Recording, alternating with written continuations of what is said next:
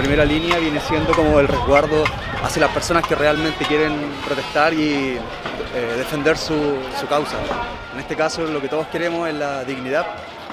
Imagínate, los abuelos teniendo una pensión de mierda, el Estado no hace ni una weá, pero la ley anticapucha en un puro día, loco, en un puro día, la hicieron de una, pero para la otra weá han cuidado 40 años y no han hecho ni una weá, tenemos caleta de rabia. Y por eso yo creo que estamos todos acá, porque tenemos rabia con ellos. Acá se da la pelea todos los días para que la gente pueda pasar, movilizarse y protestar. No tenemos miedo, pero la verdad que igual ellos tienen las armas, pues entonces igual hay que correr obligado. Lo tiran a quemarropa, hermano, lo están tirando a quemarropa. Están ahí los giles.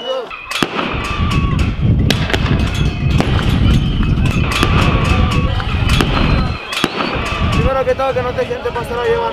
Se están aprovechando porque son autoridad nomás.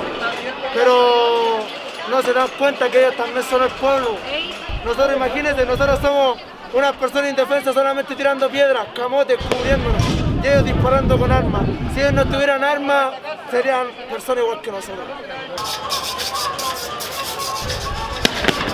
Si hubiéramos querido hacerle daño realmente a los pacos o algo por el estilo, estaríamos con armas, weón. Pero, ¿te digo algo? Vamos a seguir en pie todos los días. Y cuando pase el helicóptero no miren para arriba, por favor, nos están grabando, nos están sacando el rollo, weón. Seamos estratégicos, por favor.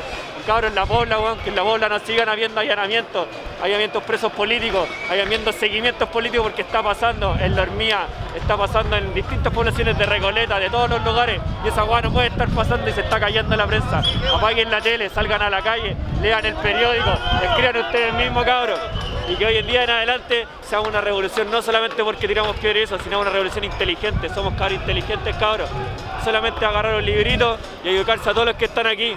Educa a la gente que está aquí con usted. Sean conscientes, cabros, por favor.